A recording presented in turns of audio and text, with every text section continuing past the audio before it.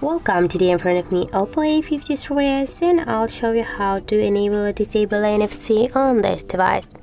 So first you should go to the settings and now just tap here on the others wireless connections. Here you'll see the NFC section and just to enable the NFC on your device tap here once on the switcher and as can you see we just right uh, and how activated this option. And if you want to turn off the NFC just tap here again on this switcher and that's it.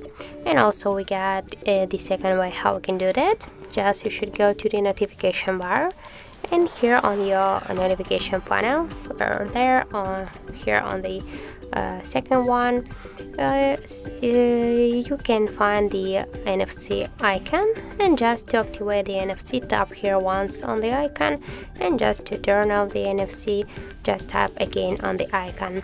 And that's it. So that's how it looks. If you find this video helpful remember to leave a like comment and subscribe our channel